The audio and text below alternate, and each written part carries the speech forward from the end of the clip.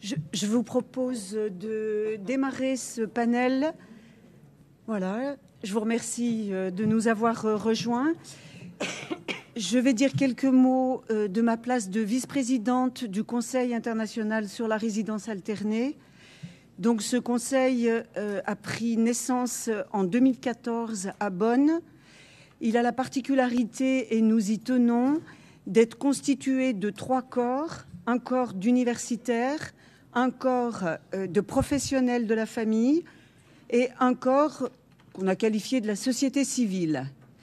Nous avons tenu aussi et, nous tenons bon à proposer la parité au sein du Conseil et bien sûr au sein du bureau du Conseil international sur la résidence alternée.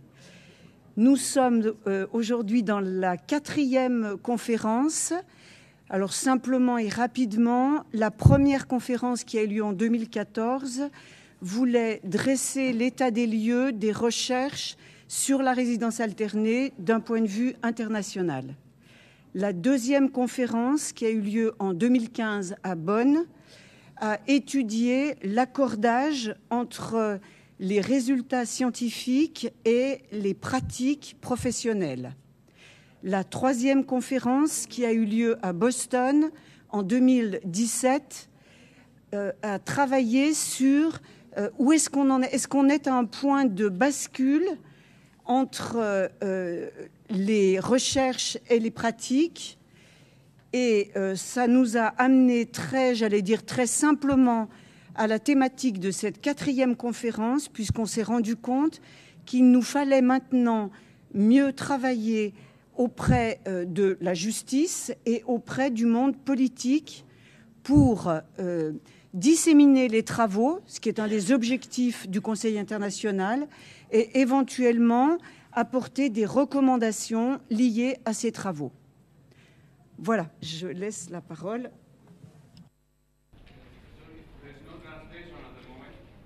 No translation. No translation. Euh, très rapidement également pour présenter la, situation sur la, résidence alternée et la situation française, puisque euh, cette discussion est autour de la situation française et des lois en France. Et je vais faire un point sur le coût social et le coût individuel de ce que l'on appelle en France le droit de visite et d'hébergement dit classique, c'est-à-dire que les enfants ne voient un des parents, le plus souvent le père, deux jours tous les 15 jours. Le Conseil économique, social et environnemental, dans son dernier rapport 2017, note que ce que l'on appelle les familles monoparentales représentent 20% des familles en France. C'est extrêmement important. Mais la plupart ne sont pas vraiment des familles monoparentales. Ce sont des foyers monoparentaux, hein, c'est-à-dire que le père est toujours là.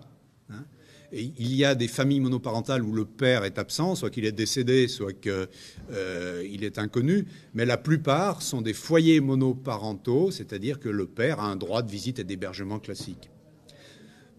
Euh, 19% hein, des, enfants vivent sous, le système de foyer monoparental. Dans 84% des, des cas, donc ils vivent principalement chez la mère. Et dans la majorité des cas, quand ils vivent chez la mère, dans la majorité des cas, c'est ce droit d'hébergement dit classique, donc deux jours par, semaine, par quinzaine avec leur père. Ces modalités de, de résidence, elles sont néanmoins inégales sur le territoire.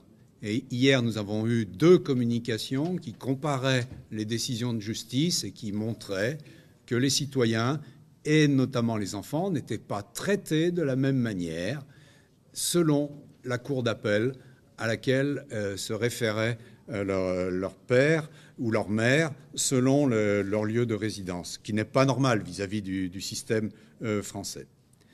On sait que ce, cette manière d'héberger les enfants, cette manière de faire vivre les enfants est euh, tout à fait préjudiciable à leur développement, à leur bonne santé physique. On aura euh, beaucoup de, recherches cet après-midi sur ces questions-là, donc je ne détaille pas, mais vous les connaissez euh, déjà. Cet après-midi, on aura simplement les, mises à jour des dernières recherches. On sait aussi que le monde est en train de changer. Comme l'a dit un des intervenants du Danemark ce matin, nous vivons dans un monde où les parents, les jeunes parents, partagent de plus en plus de responsabilités dans l'éducation et le soin aux enfants. Nous vivons dans un monde où la coparentalité est la règle, où la résidence alternée se diffuse, mais avec des lois qui datent de l'époque où l'autorité parentale ou la résidence dépendait d'un seul parent. Et nous verrons tout à l'heure avec les intervenants euh, suivants que ça pose énormément de problèmes dans la vie des couples, dans la vie euh, des enfants, qui ne vont pas dans le sens d'un apaisement des relations après la séparation.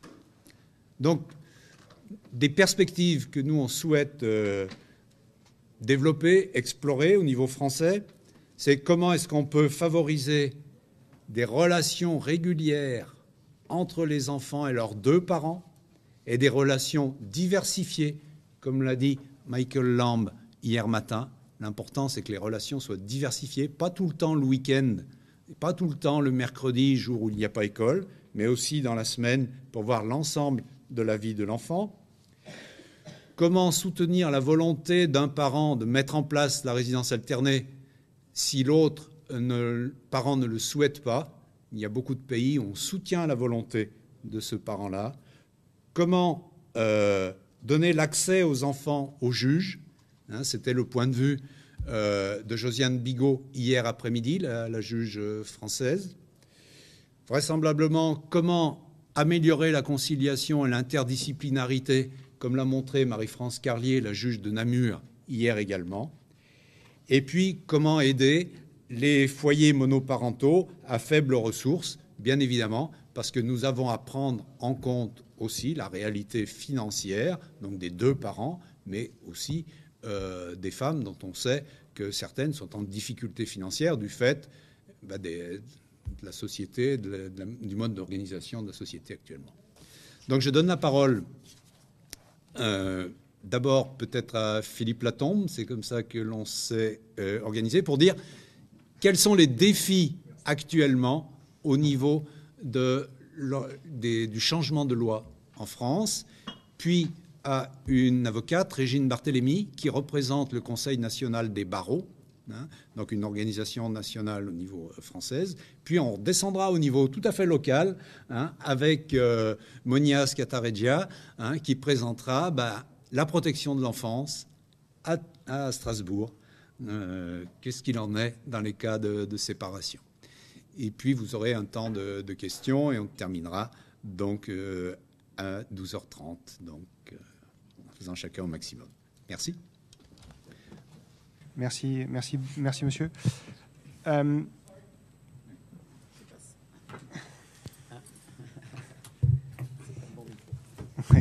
Ça y est, on a les micros.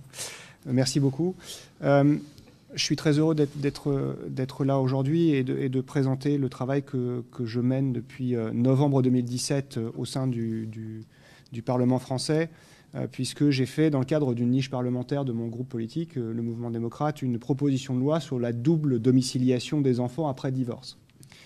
Et cette proposition de loi, que je pensais être très, très timide, dans ses conséquences juridiques, puisque c'était une double domiciliation et qui était plutôt dans l'esprit de commencer à inculquer euh, l'idée que pour les enfants, il pouvait être bien d'avoir euh, deux, domiciles et donc euh, commencer à, évoluer sur, sur ce sujet-là, a généré une, un tas de réactions qui étaient parfois extraordinairement virulentes. Alors que je pensais que cette proposition allait entériner en fait une, une, sorte de consensus social qui avait pu se créer autour des différentes, auprès des différentes années.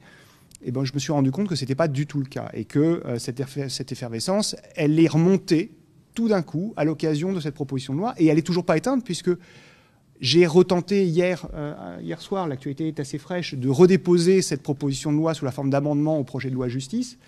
Et euh, les réactions ont été exactement les mêmes que l'année dernière, les mêmes arguments, les mêmes. Et il n'y a pas eu. Ça n'a pas infusé, ça n'a pas travaillé, alors même que quand on fait des, sondages, des, enquêtes d'opinion, la population euh, interrogée est plutôt favorable à, la résidence alternée, à la double domiciliation, et, dit et manifeste un, certain, un certain malaise vis-à-vis de, des décisions judiciaires en termes de droit de la famille euh, aujourd'hui. Euh, pourquoi? Parce que le, modèle familial en France, comme partout dans les pays européens, a fortement évolué depuis plusieurs années. on pensait qu'en France, le, mariage pour tous était le point d'orgue de, cette évolution et que du coup tout le reste allait pouvoir en découler, qu'on allait pouvoir avoir une modernisation du droit de la famille. Et parce que les modes de vie, les mentalités ont changé, ça allait pouvoir se passer tranquillement. En fait, il n'en est rien du tout. On se rend compte que euh, l'ensemble du débat euh, sur le droit de la famille, dès qu'on y touche, euh, en fait, c'est une cocotte minute et il suffit d'ouvrir le couvercle et puis on se rend compte que la pression est encore là et que c'est pas possible d'y toucher. le projet de loi justice aménage par petites touches euh, les choses, mais uniquement sur des considérations procédurales, euh, mais ne touche pas vraiment au fond, du, dossier. Euh, c'est ce que j'ai dit à la garde des Sceaux et, à l'Assemblée hier. je pense que ne pas s'attaquer à la modernisation du droit de la famille en France, c'est courir un risque social relativement important. parce que aujourd'hui, en France, le droit de la famille est encore un droit de la famille qui est basé sur le mariage, le divorce, et la recomposition n'existe pas dans le, droit, dans, le, droit, de la famille en France. Euh, le statut des beaux-parents, on en parle beaucoup, mais il n'y a rien dans les textes aujourd'hui. Euh, la, résidence, il y a eu une, évolution. L'autorité parentale partagée est une évolution qui était importante. Pourquoi la double domiciliation, qui est une des conséquences de l'autorité parentale partagée, ne pourrait pas être le cas? On a des problèmes administratifs euh, sur ce sujet-là. Aujourd'hui, l'éducation nationale n'intègre pas le fait que l'enfant ait deux résidences. Il parle de la résidence du référent numéro 1 et éventuellement du domicile du référent numéro 2. Et c'est le domicile du référent numéro 1 qui sert à l'application de la carte scolaire, par exemple. Donc euh, l'idée était de, moderniser, donc j'ai proposé un certain nombre d'amendements qui ont fait... Euh, alors, la proposition de loi en 2017 avait fait beaucoup de bruit. Les amendements l'ont fait un peu moins parce que je n'avais pas voulu les rendre médiatiques. Je voulais qu'on ait une discussion de fond. Mais hier, euh, les ayant déposés, nous avons eu un débat.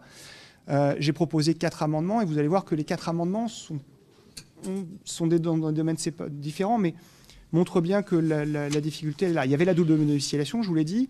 Il y avait un, amendement qui, qui était dans l'idée d'apaiser ce qu'on appelait euh, l'éloignement volontaire ou l'éloignement de l'un des deux parents en fixant euh, dans le Code civil un délai. Aujourd'hui, le Code civil en France dit que l'un des deux parents qui euh, souhaite s'éloigner ou qui souhaite et que ça, pose un problème dans, l'exercice de l'autorité parentale doit informer l'autre parent en temps utile. J'ai voulu préciser dans le Code civil que le en temps utile pouvait être remplacé par un délai d'au moins trois mois. Refus net refus net en disant il faut laisser de la souplesse, le en temps utile permet que l'information soit juste avant le déménagement, comme six mois ou un an avant. Bon.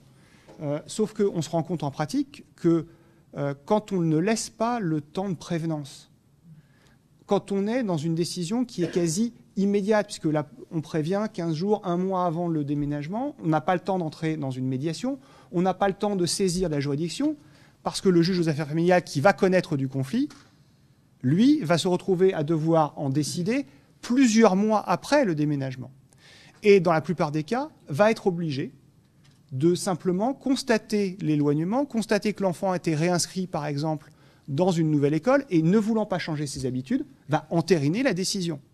Et que du coup, on va se retrouver dans un conflit parental qui s'exacerbe, qui renaît. Alors qu'il avait pu être apaisé avant, il va renaître. Et le fait de mettre un délai a été refusé. De même qu'a été refusé le fait que le juge puisse statuer en référé, en disant il faut qu'on donne la priorité, que le juge puisse dégager du temps spécifiquement pour désamorcer ces conflits et décider dès le départ. Ça a été refusé. les refus étaient euh, très procéduraux. C'est, euh, on était dans une loi de procédure, ce n'est pas le sujet du texte, ce n'était pas prévu dans le projet initial, donc ce n'est pas la peine de modifier le code civil comme ça. Sauf qu'on est bien dans quelque chose qui est très procédural. Dire que le en temps utile devient au moins trois mois, c'est de la procédure. Dire que le juge statue, mais en référé, c'est de la procédure. Donc en fait, il y a vraiment eu une opposition sur, euh, cette partie-là. Un autre amendement qui est un amendement de principe, qui était de dire que le juge, en France, le juge peut prendre des dispositions pour que l'enfant et les parents, enfin que les parents puissent conserver un lien avec l'enfant, avec ou que l'enfant puisse conserver un lien avec ses parents. Là, l'idée, c'était de dire le juge veille à. On n'impose pas, mais on dit au juge attendez, l'enfant, c'est pas parce que le couple conjugal s'est séparé que le couple parental ne doit pas rester. Et donc le juge doit veiller à ce que, et on a des nouvelles technologies, que même si le parent qui n'est pas le parent gardien principal est éloigné, puisse avoir un contact avec l'enfant.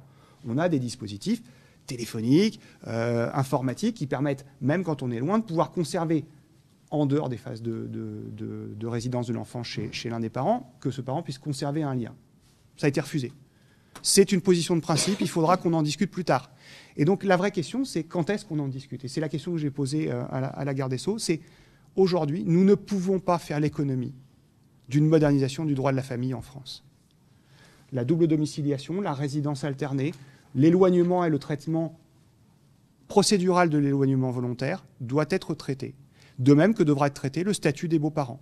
Parce qu'on a des recompositions familiales qui nécessitent, dans l'intérêt de l'enfant, que les beaux-parents puissent éventuellement avoir des droits et des devoirs vis-à-vis de leurs beaux-enfants. Et aujourd'hui, en France, on a un vide.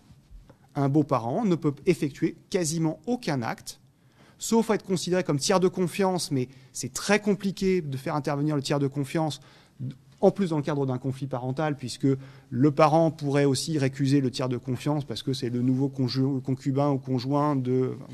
Donc c'est quelque chose qu'il va falloir encadrer, et aujourd'hui, ça n'est pas le cas.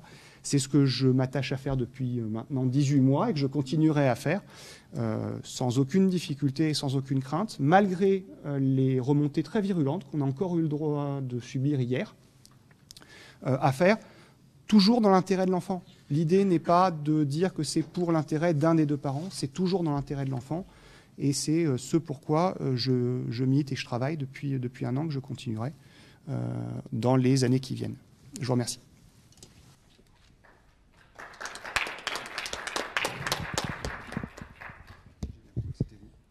Oui, je crois. Alors, ça, il faut appuyer sur quelque chose là? Non. Là, oui. Et là, ça marche? Oui, oui, oui, Bon, d'accord. Merci.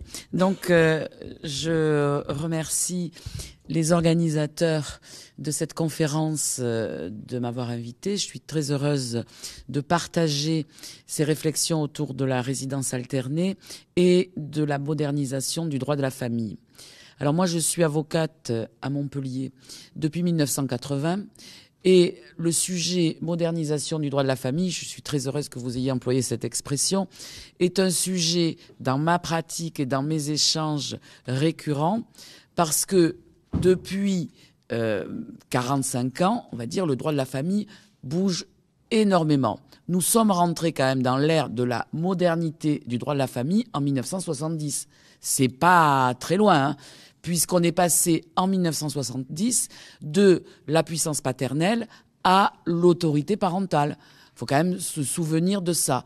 Et que en 75, on est passé à la révolution en matière de divorce, c'est-à-dire l'abandon du seul divorce pour faute au profit de la pluralité des procédures. Ce faisant, à la fin des années 90, on s'est aperçu, et ça a été l'objet d'un rapport de la sociologue Irène Terry, qui avait été commandé par euh, la garde des Sceaux, Elisabeth Guigou, et par Martine Aubry, euh, qui était ministre des Solidarités notamment, un rapport donc sur l'évolution du droit de la famille. Et Irène Terry écrivait que c'était une mutation inachevée. Et on pourrait aujourd'hui reprendre encore ce terme. Et elle analysait donc en quoi cette mutation était inachevée et quelles étaient les réformes qui pourraient permettre d'avancer. Et déjà, à ce moment-là, il était question du statut du beau-parent, parce que le beau-parent existe, mais il n'existe pas en droit. Il intervient tous les jours, mais il n'a pas de statut. Il était aussi question à ce moment-là des problématiques d'autorité parentale et des problématiques de résidence. Pourquoi? Autorité parentale conjointe aussi, il faut se souvenir que l'autorité parentale conjointe a été introduite en droit français en 1987. C'était la loi Mahuré. Antérieurement, il y avait la garde. La garde, ça recouvrait tout. C'est-à-dire que c'était la résidence et l'autorité parentale. Et l'autre parent avait un droit de visite et d'hébergement qui incluait un droit de surveillance. C'est tout. Donc, ce n'est qu'à partir de 87 qu'on a l'exercice conjoint de l'autorité parentale possible, mais il n'est que possible. Et le principe va entrer dans la loi en 2002. 2002, c'est la conséquence d'une part du rapport Terry qui dit quoi aussi à cet égard Qui dit nous sommes en train de fabriquer une société sans père. Pourquoi? Parce que droit de visite et d'hébergement, un week-end sur deux, la moitié des vacances scolaires exercées ou pas exercées, on aboutit à un désinvestissement et à une société sans père. Derrière, il y a le rapport de Quevert de Fossé. Donc Madame de Quevert de Fossé, professeure de droit, qui l'a fait la traduction en matière de prospective législative des constats et des propositions de la sociologue Irène Théry. S'il y a une chose que je regrette aujourd'hui, et j'écoute avec beaucoup d'intérêt M. Latombe, et je salue son investissement et son intérêt pour les questions familiales, ce que je regrette, c'est qu'aujourd'hui, on a des propositions de loi en matière de droit de la famille sans préparation préalable. D'un seul coup, là, par exemple, Heureusement, on a écarté, mais dans la dernière proposition de loi, on nous proposait de nouveau de dire pourquoi on voulait divorcer tout de suite. Bon, donc de faire remonter en fait le divorce pour faute en disant euh, je veux, euh, j'ai des griefs, etc. Alors que l'expérience montre que depuis qu'on ne dit plus au début d'une procédure pourquoi on, veut divorcer, on a apaisé. Moins de 5% des divorces actuellement sont des divorces pour faute. C'est une petite parenthèse pour dire que la réforme, la loi qui est discutée actuellement, n'a été préparée par aucun travail préparatoire, aucun rapport, aucun échange, alors que l'expérience montre que les échanges que l'on peut avoir entre juristes, sociologues, psychologues, psychanalystes, économistes sont fondamentaux pour faire évoluer le droit de la famille les rapports dont je vous parle, Terry, de Quevert de Fossé, ils ont abouti à toutes les réformes qu'on a eues dans les euh, années 2002-2004, c'est-à-dire l'exercice conjoint de l'autorité parentale comme principe en 2002, l'introduction dans la loi de la possibilité pour un juge de fixer une résidence alternée, y compris si les parents sont en désaccord.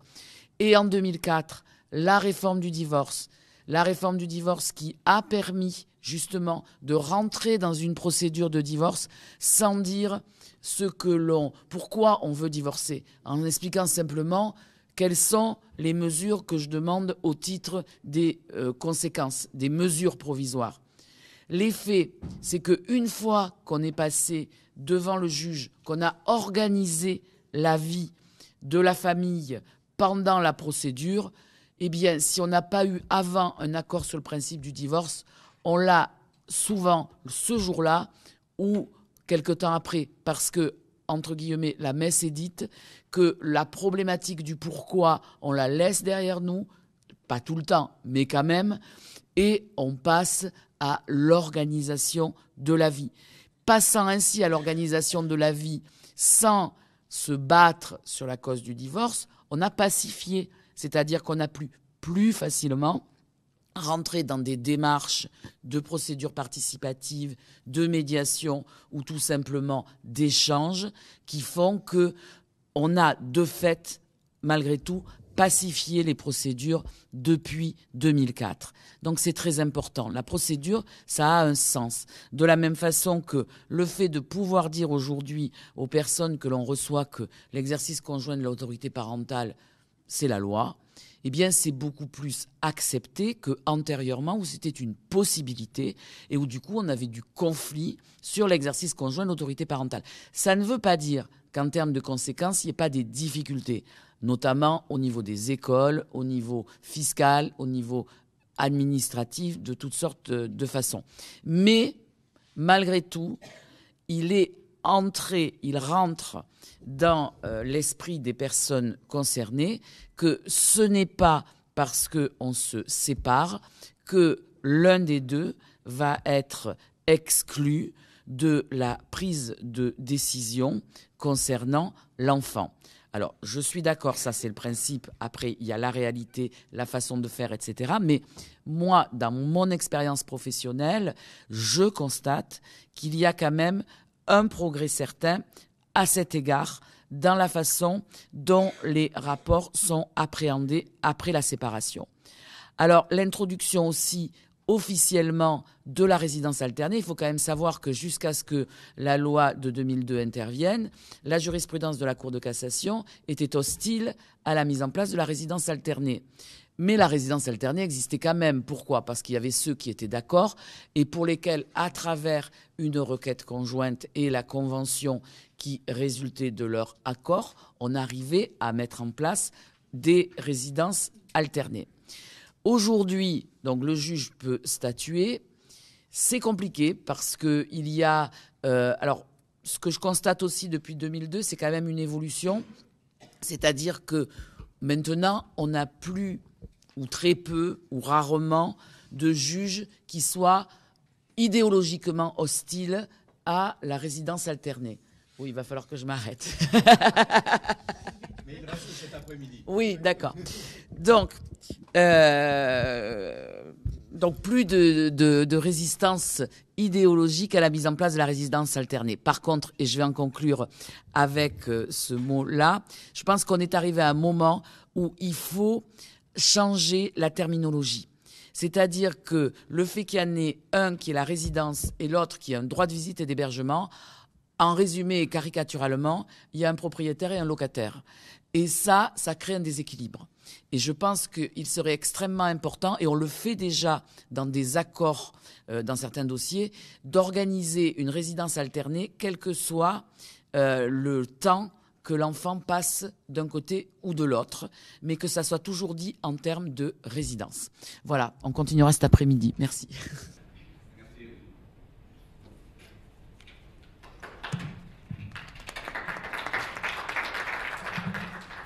bonjour à tous. Je remercie également les organisateurs euh, de bien vouloir de bien avoir voulu convier Témis euh, à cette table ronde.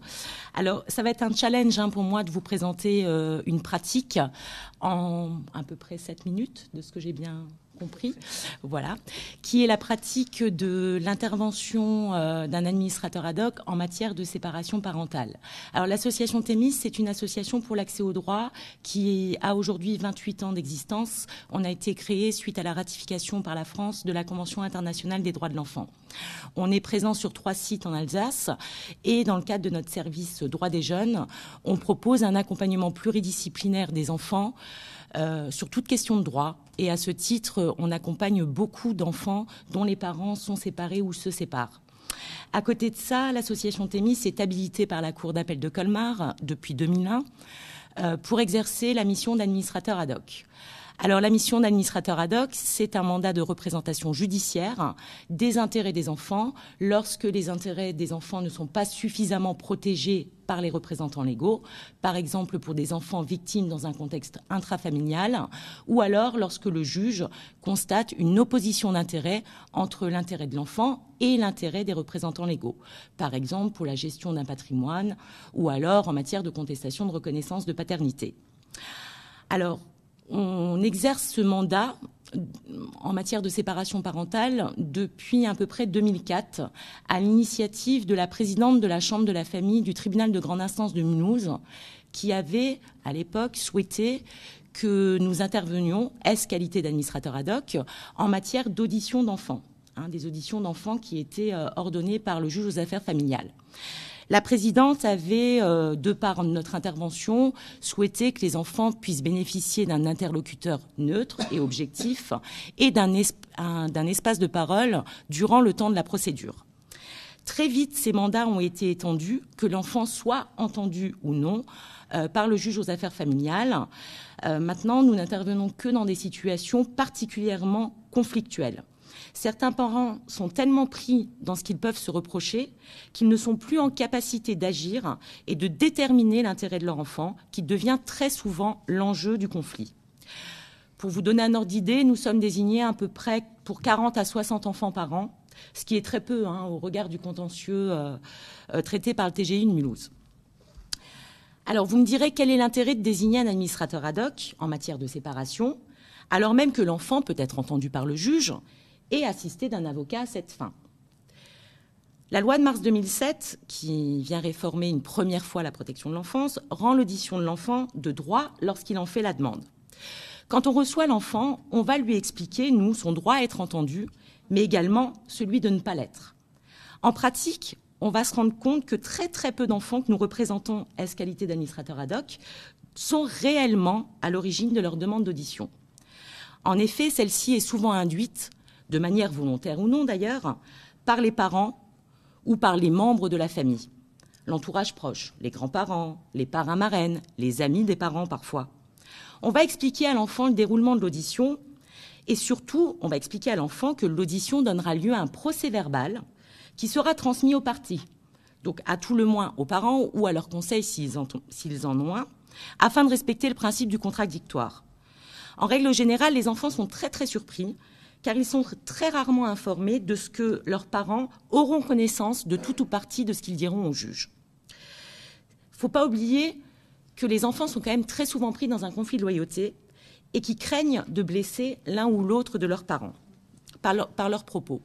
Moi, ça m'est déjà arrivé. Alors, je suis athémiste depuis 15 ans, hein, donc j'ai une pratique euh, des auditions d'enfants par le juge aux affaires familiales qui est maintenant, euh, on va dire, relativement longue. Et ça m'est déjà arrivé de m'opposer à une audition euh, parce que j'avais constaté que l'enfant amené par l'un des parents me disait qu'il avait envie de vivre avec ce parent. La semaine d'après, il, était venu, il venait à Thémis amené par l'autre parent et il me disait l'inverse. Voilà. Donc, dans ce genre de situation, on a tendance à, à dire que c'est peut-être mieux que l'enfant ne soit pas entendu. Bien entendu, les paroles des enfants entendus sont retranscrites en veillant à ne pas le mettre en difficulté. Mais parfois, ça suffit pas. Je vous donne un exemple. J'ai accompagné une jeune adolescente qui avait sollicité son, audition par le juge aux affaires familiales. Elle voulait résider avec son père. Parents séparés depuis très très longtemps, et la jeune fille qui avait toujours vécu avec, euh, sa maman et qui voyait son père le week-end et pendant les vacances, m'a dit bah maintenant moi j'ai besoin de me rapprocher de mon père, donc j'aimerais bien changer. La mère était au courant. Hein. Donc le juge l'entend, lui pose la question de savoir si elle est d'accord pour que ses paroles soient retranscrites pardon, telles quelles. Elle dit oui, il n'y a pas de souci, euh, ma maman est au courant, euh, j'ai juste envie d'aller vivre chez mon papa. Résultat, procès verbal d'audition euh, retransmis aux avocats. L'avocat retransmet, je trouve ça, retransmet, je trouve ça un peu maladroit, mais retransmet tel quel le PV à sa cliente, donc à la maman. Une lettre de 14 pages de la mère à sa fille.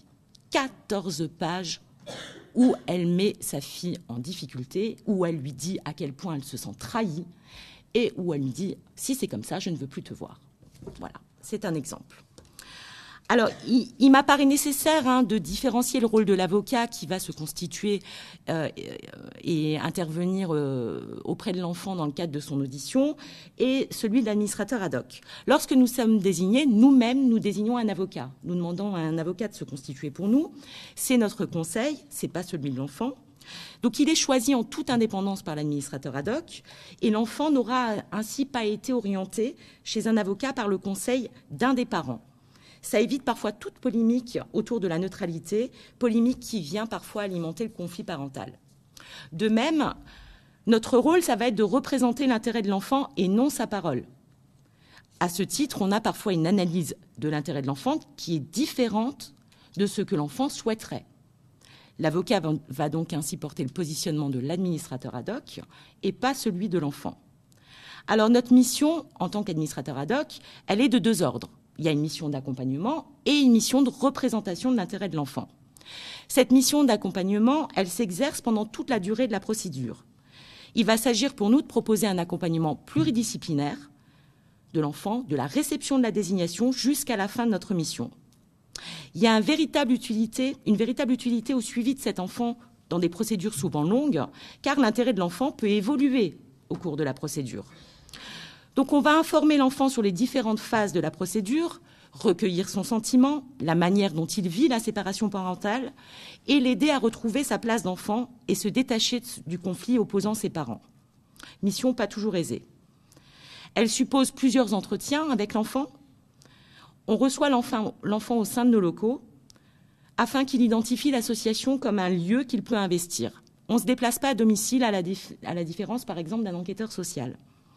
Les entretiens avec l'enfant se déroulent hors la présence des parents, en double écoute, binôme juriste-éducateur spécialisé ou binôme juriste-psychologue en fonction de la situation rencontrée.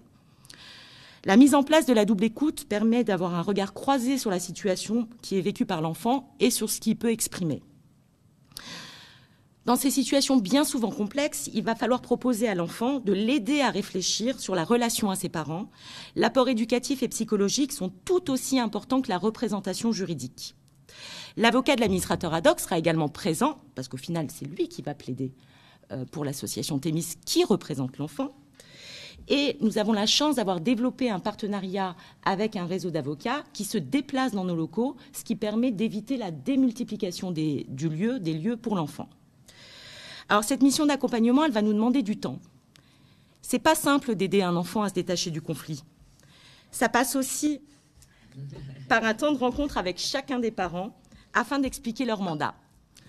Et donc, je conclus, la représentation de l'intérêt de l'enfant, donc c'est pas seulement accompagner l'enfant, on n'est pas seulement le porte-parole de l'enfant, on va devoir tenir compte de l'ensemble des éléments qui sont portés à notre connaissance afin de donner un avis sur ce qui nous semble être, pour nous, professionnels, de l'intérêt de l'enfant. Et cette recherche de l'intérêt de l'enfant, elle doit prendre en considération non seulement les sentiments qui sont exprimés par l'enfant dans le cadre des différents entretiens, mais également tous les éléments objectifs dont on va pouvoir avoir connaissance par les entretiens qui sont menés avec les parents et également les éléments de procédure qui nous sont communiqués. Donc notre positionnement sera toujours réfléchi en équipe pluridisciplinaire, en étroite collaboration avec un avocat qu'on aura mandaté. Notre avis sera expliqué à l'enfant dans un souci de transparence.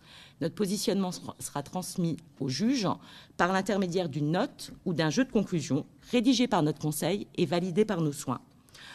Alors, je serai présente sur la dernière table ronde cet après-midi et je pourrais peut-être vous en dire un peu plus sur notre positionnement concernant la résidence alternée euh, du point de vue de l'enfant. Voilà, je vous remercie. Merci bien. Donc nous avons quelques minutes pour des questions, mais priorité aux journalistes puisqu'on est sur un point presse. Euh, voilà. bonjour, moi je, pardon, je représente l'agence presse d'Athènes. Donc euh, j'ai quelques questions juste de précision dans un premier temps et par la suite des, des, vraies questions. Donc quand on parle de double domiciliation, on appelle également, c'est la même chose que résidence alternée en fait, c'est ça? Ou euh, il y a une différenciation? Non, il y, a, une, il y a une différence excusez-moi, il y a une différence, c'est que euh, la double domiciliation, on est simplement sur le, où est-ce que l'enfant a son adresse. Aujourd'hui, dans le cas d'une résidence alternée, il a une adresse principale et une, deuxième adresse là où il, mais qui n'est pas une adresse administrative et qui n'existe pas en tant que telle. La résidence alternée, c'est le lieu où il vit, qui n'est pas forcément simplement administrative. Donc euh, la, proposition de loi que j'avais déposée en 2017, c'était au départ sur, une résidence alternée qui a été modifiée en double domiciliation, et ce qui semblait être effectivement la façon d'inciter à aller vers une résidence alternée un peu plus importante. Sachant que ce n'est pas forcément égalitaire 50-50 une résidence alternée. Alors merci. Donc je propose juste de poser mes deux questions et après euh, répond euh, qui veut. Donc on a l'impression un peu de passer vraiment du rien euh, au tout en fait. Hein. Donc avant il y avait juste cette histoire de droit de visite et après il y a le, enfin, la, résidence alternée et puis maintenant la double domiciliation. Je me demande en fait si dans ce cadre-là il y a une obligation de par euh, les parents quand ils vivent dans la même ville d'habiter vraiment à un périmètre euh, logique, hein, équilibré par rapport à l'enfant, histoire qu'il n'y ait pas l'un qui soit au nord de Paris et l'autre dans le sud, pour que l'enfant reste quand même dans le même environnement. Donc ça, c'est ma première question. Et vu que je travaille quand même pour l'agence presse d'Athènes, je suis un peu obligée de remettre aussi un peu dans le contexte euh, plus européen. Hein. Je me demandais si c'est vrai que ce modèle-là d'alternance, en tout cas, peu importe si c'est avec un double domicile euh, ou pas, n'existe pas beaucoup dans le sud de l'Europe hein, ou euh, dans les pays plus orientaux. Donc je me demandais si vous aviez des, des données comparatives. Hein. Donc est-ce que la France peut être aussi un modèle pour les autres pays par rapport à ça? Sur la question de la domiciliation des enfants et de la proximité des domiciles, c'est une des conditions évidentes pour. Non, c'est pas ça. C'est celui-là. bon, Donc, euh, la résidence, la proximité des domiciles est une condition évidente pour la mise en place d'une résidence alternée. Alors il ne s'agit pas nécessairement d'habiter dans la rue à côté, mais en tout cas que l'enfant qui va continuer euh, selon le lieu où il se trouve, à fréquenter exactement le même établissement scolaire, ne, doit, ne, soit pas en situation de faire une heure euh, de transport le matin pour que ce soit possible. Donc ça, effectivement, c'est une condition. Alors ensuite, euh, sur la deuxième question que vous posez, je peux répondre sur la deuxième ah ben question. Voilà. Par contre, voilà. Donc, je peux répondre sur la deuxième question parce que hier nous avons eu des données très précises venant d'Espagne. Donc, c'est un pays du sud de l'Europe Hein. Nous en aurons cet après-midi également, hein, venant d'Espagne. Euh, nous en avions ce matin venant du Portugal, qui montre donc en Espagne un développement des modalités de, résidence alternée dans les familles, donc dans les jeunes couples. Hein, c'est ce que j'expliquais tout à l'heure. Avec, c'est ce qui était intéressant dans la communication de, notre collègue euh, hier, euh, José de Pereira, c'est que quand la loi incite la résidence alternée, et en Espagne c'est un peu plus compliqué que chez nous parce qu'il peut y avoir des lois nationales et des lois régionales, donc ils ont fait une étude extrêmement précise, région par région, quand la loi incite à la résidence alternée comme une première option à étudier, alors les parents osent demander la résidence alternée pour leurs enfants et pour, euh, eux-mêmes certainement. Et on montrera à peu près la même chose cet après-midi avec le changement de loi qui a eu lieu en, Arizona hein, il y a quelques années, et on aura les résultats d'évaluation par William Fabricius euh, aux États-Unis. Si, vous, avez des données sur la Grèce aussi, je prends. Si vous avez des données sur la Grèce, je prends aussi. oui. Alors nous malheureusement, nous n'avons pas de données sur la Grèce pour le moment, euh, mais il y a des collègues de Grèce ici qui pourront euh, qui pourront parler. Alors je, oui, je, on est obligé de faire un point d'organisation parce que vous savez que on est près de 200, donc c'est toujours lourd à, mener. Donc on va juste conclure en une minute avec Philippe Platon, s'il le souhaite. Il y a un deuxième jour, question de journaliste? Non, je ne pense pas. Hein. Euh, on va conclure juste en une minute. On va aller pour celles et ceux qui, qui le souhaitent prendre la photo. Et puis après, on se retrouve à 13h15 ici, mais à 13h15 très précise, de manière à pouvoir tenir l'horaire que l'on s'est donné et laisser les gens qui nous font l'honneur de venir, mais l'honneur de venir de loin et avec un timing qu'on imagine facilement très très précis, pouvoir partir et rattraper un TGV pour aller continuer leurs actions ailleurs. Je pense à Philippe Platon notamment. Voilà. Oui, merci. Pour répondre à votre question, je pense qu'aujourd'hui, la France n'est justement pas un exemple et que d'autres pays européens sont des exemples pour la France qui pourront ensuite faire que la France soit un exemple pour d'autres. C'est un effet de domino, mais aujourd'hui, euh, la, situation euh, est totalement différente de ce qu'on a pu vivre en, Belgique, où depuis dix ans, il y a eu euh, cette évolution, des pays nordiques, du nord de l'Europe, et qui en fait descendent petit à petit. Enfin, c'est comme ça que je le vois, et c'est en ce sens-là que j'essaie de, lancer les choses en France pour que ça soit effectivement une incitation et qu'on puisse prendre exemple, qu'on puisse prendre appui sur ce qui fonctionne dans le nord de l'Europe et qu'on le descende. Il y a effectivement peut-être une question culturelle euh, qui petit à petit infuse et a tendance, si on devait le prendre géographiquement, à redescendre vers le bassin méditerranéen.